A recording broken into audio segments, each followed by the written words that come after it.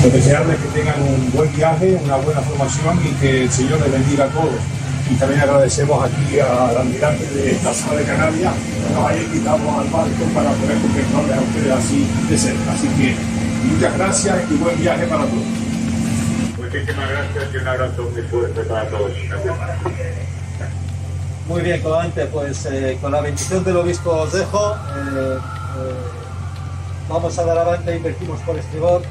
Que tengáis mucha suerte en todos vuestros discusiones. Un fuerte abrazo a todos, buena mar.